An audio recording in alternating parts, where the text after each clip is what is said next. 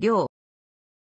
量は、借款法における質量の単位であり、また、近世の日本における金貨、及び中国における表量銀貨の通貨単位である。質量の単位としての量は、門目の倍量、間、金の分量単位で、日本では1両イコール10門目イコール1、100巻イコール1、16金とされた。奈良時代に交付された大法律令では、隋代、東大初期化の1両に準じて、おおむね41から42グラムくらいであったが、東大になり11%程度減少し37.3グラムとなり、日本国内でもこれに近い値となった。明治時代以降、日本国内ではほとんど使用されていない。現代の中国の1資料は50グラムである。金貨の通貨単位としての量は、武田信玄により、鋳造を命じられた、甲州金により確立され、江戸幕府に継承されたもので、1両は4分に等しく、また16種に等しい。小判1枚の貨幣価値に相当し、従って2分金2枚に、1分金、1分銀4枚に相当し、また2種金、2種銀8枚に、1種金、1種銀16枚に相当する。明治時代に通貨単位として窓か円が導入されたが、切り替え時に1円は1両と等価とされ、しばらくの間は窓かのことを両とも呼んでいた。また、江戸時代にも文政年間頃から両のことを俗称として窓かと呼ぶ習慣が一部にあったという。質量の単位としての量は古代中国で生まれた。古代中国で流通した貨幣として半量線がある。漢代では、漢序律歴史に、権者主、領、金、人志、石なり、ゆえん小物平瀬地形重なり、本義を交渉これ主下、一ゆえ姿1200キビエ12種、領のため領、24種ため領、16両ため金、30金ため人志、4人志ため石。と、記述があり、気象館、当時の音律の基準となった木、小の音色の笛の体積が1ゆえ、役であり、これに入るキビ1200粒を12種、種。種は、これの略字とし、これを2つ合わせた質量すなわち24種を1両とした。量の漢字には、2つという意味がある。中国の劉福が、新の過量を計量したところ、その質量は13600グラムであった。一方、漢序律歴史には、過量の質量は重地仁志と記されている。これから、劉福は、関内の一斤を 226.67g、一両を 14.167g と推算した。南北朝時代になると南朝では、質量は変化しなかったが北朝で一両の質量が増し、隋、唐では、旧姓の小少量とその3倍の大少量が定義された。呉省楽の中国土量講師による隋代の大少量1両は 41.762g で、小少量1両の3倍である。東大の一斤は約 680g だったので、金を参照、大少量はその1、16で約 42.5g となる。東大に海源通報が1、10両の基準で鋳造され、質量の単位は従来の1両イコール24種から1両イコール10銭、イコール100分という重心法の制度に改められた。寝台には目的によっていくつかの量があったが、古兵量が標準とされた。この古兵量とメートル法の対応は清朝滅亡後の1915年に定義され、それによれば、1古兵量イコール 37.301g であった。国民革命後の1929年に古兵量は廃止され、新たに姿勢が導入されたが、その定義では1両イコール 31.25g に減少した。これはメートル法との対応が計算しやすいように1斤イコール 500g としたためである。中華人民共和国では1斤イコール10両に10、新法化したため、1両は逆に 50g に増加した。ただし、この 50g の量は中華人民共和国以前にも使用例がある。満州国でも1両を 50g としていた。香港では歴史的に1斤を常高ポンドと定めたため、それに従って現在も1斤イコール16両イコール 604.78982g、1両イコール 37.7994g である。これは、芝量と呼ばれる。貴金属の取引では、これとは少し異なる値の均衡量 37.429g が使われる。東南アジア諸国では名称は様々だが、同様の質量の単位が使われている。インドネシア、マレーシア、シンガポール、ブルネイでは、タールと呼び、それがポルトガルを経由して、英語では、テールと呼ばれる。日本には、東大の大小両方の量が伝わった。江戸時代初期までは、東大の量が日本に伝えられ、用いられていたが、漢文元年、1661年に、土量港の港が統一され、両外省で用いられる奮闘は、後藤四郎氷家の未制作が許され、これ以外のものの制作及び使用は、不正を防止するため免禁とされた。この分銅は、量を基本単位としている。ただし、表量銀貨の通貨単位は日本では、銀1両といえば、銀4.3問目のことであり、さらに小判の通貨単位の量との混同を避ける意味から、門目及び、癌が用いられた。すなわち、資料の奮闘と釣り合う長銀は、銀40問目と表した。江戸時代の一両は奮闘及び、定価兵の実測による推定では平均して 37.36g 程度であり、江戸時代終盤にやや増加して 37.5g を超えたという。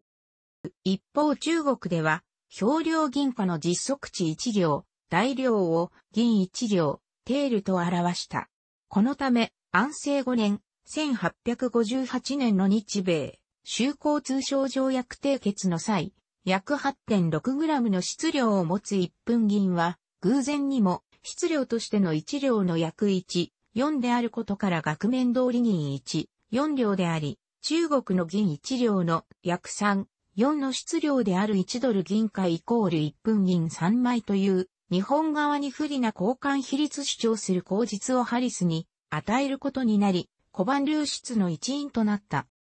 明治4年、1871年5月、新化条例交付の際、当初1 0 0 0、門目イコール 3.756574g とされたが、同年9月に訂正され1セミイコール 3.756521g と定められたため、1両イコール 37.56521g となる。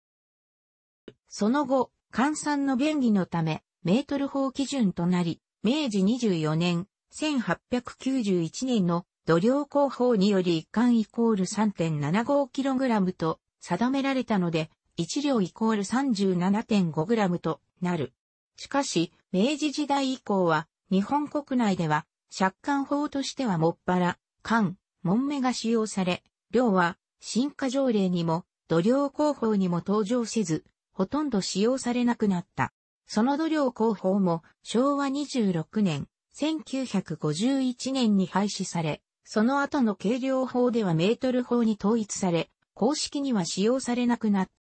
江戸時代まで使用された五島奮闘の表示は、量が基本質量単位であり、門目は奮闘に記載すらなく代わりに線と刻まれている。対して、江戸時代の門目は銀目としての貨幣単位であり、大阪において小取引の相場は必ず銀目で表された。しかし、江戸幕府は南領に主銀発行以降、銀貨イコール長銀、豆板銀という従前の概念の意識抜き、洗脳を周到に行い、貨幣の基軸は量であるという既成事実を息長く積み上げ、また、明治以降は維新政府による1868年の銀目廃止、1891年の土量工法施行以来、あたかも、量は江戸時代の貨幣単位、門目は質量単位と一般には認識されるようになった。薬種の両目としては1両を4問目、すなわち少量とするのが一般的であったが、薬種によって4問目4分や5問目とするものもあった。馬一頭が運ぶ荷物の目方、質量を表す打法と関連があるとされることに、1300年頃に編纂されたとされる10、芥田賞の中に5分、白目、銅鉄、糸面くれない、スオは多めを用い、金銀、水性、青木香り、金星、六章、動作は古木を用い、六章一部、四部を一両、十二両を一トン、十六両を小一金、三金を大一金とする単位形が記述されている。十、芥章はこれは俗説であるとしているが、唐の打法にも全く同一の単位形が存在するという。ここで言う一分とは一銭、門目の一、十とは全く異なる。甲州金及び江戸時代の通貨体系となった量及び分はこれをもとに定められた可能性が高く、役種の両目も金銀の単位体系に準じている。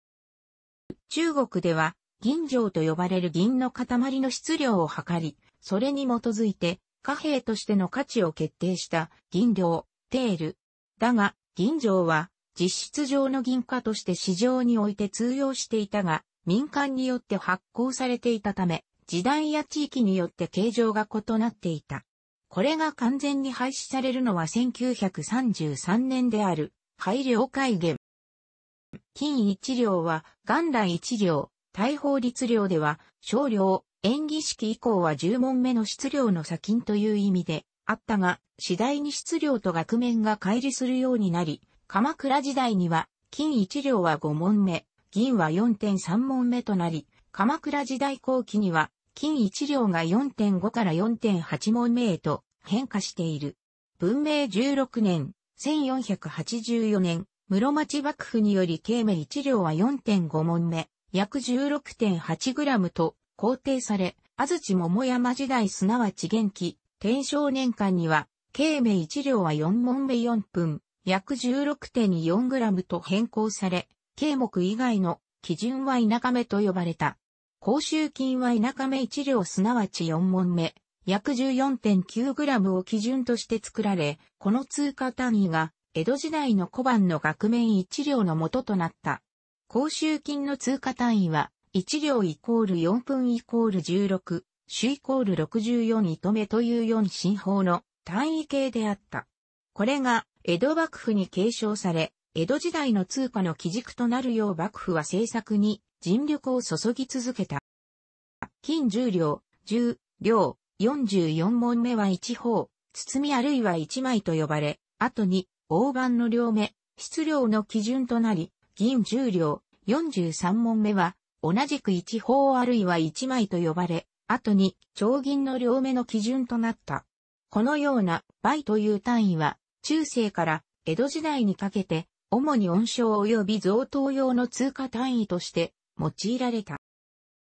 慶長小判の質量は慶明1両の金4.4問目に銀0.82問目を加え、金座の鋳造手数料0.44問目、及び不期限分0.02問目を引いて4.76問目と決められたとされる。この説に基づけば、慶長小判でさえ金含有量は金1両イコール金4.4問目とする、金陛下から乖離しているが、その後、海中により、含有率、質、量とも劣る小判が発行されるようになり、質量単位としての量と、通貨単位としての量の乖離は拡大し、量の名目化が進行した。一方で、慶長小判全体の両目4.76問目が、田舎目の金1両であるとする説もある。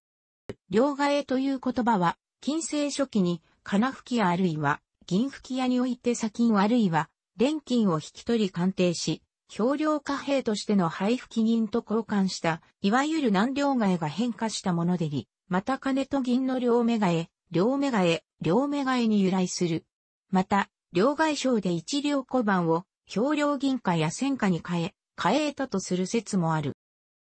天正年間の一両は米四国、長らく銭一貫分、ビタ銭四貫分とほぼ等価であった。江戸時代、金貨、銀貨、戦貨の為替レートは日々変動していた。一方江戸幕府は固定相場として、慶長14年、1609年に、金一両は、銀50問目、約 187g、1004貫分、4000分に等価と布告し、後の元禄13年、1700年に、金1両は銀60問目、約 225g、1004巻分と改正したが、幕府は相場が行き過ぎた場合のみ介入し、普段は市場経済に委ねていた。また、貨幣吹き替え及び、基金の影響などによる変動はあったものの、米一国、当時の人一人の1年分の米消費量に、ほぼ相当するの価格は1両前後であり、元禄年間から幕末の世情不安に至る前まで、ほぼこの前後の水準で推移した。1両が現在の貨幣価値に換算したら、どの程度になるかは諸説ある。相対的な価値は、経長期と急激な下落を見た幕末期では、おおむね一桁以上は異なる上に、生活様式が現在と全く異なるため物価基準で赤賃金基準であるかにより、さらに物価も品目により大きく異なる。中学校歴史教科書では、小判一両は江戸時代初めには今の10万円ほどの価値があったが、幕末には3000円マイナス4000円程度まで価値が下がってしまったと記述しているものがある。五味文彦、高橋進、斎藤勲ほか45名、新編新しい社会歴史東京書籍、2009年。日本銀行金融研究所貨幣博物館のサイトによると、原文期を基準として、賃金で1両イコール30から40万円、蕎麦代金では1両イコール12から13万円、米量価では1両イコール約4万円に相当するとのことである。また、現在のように成人者で合法な売買ならば、誰でも自由にお金が使えたわけではない。身分とセットで考える必要もあるため、現在への換算は難しいのである。1871年6月27日、明治4年5月10日、新化条例が交付され、量に代わって円が用いられるようになった。この時、1両は1円に等価であると設定され、旧通貨単位が新単位に切り替えられた。楽しくご覧になりましたら、購読と良いです。クリックしてください。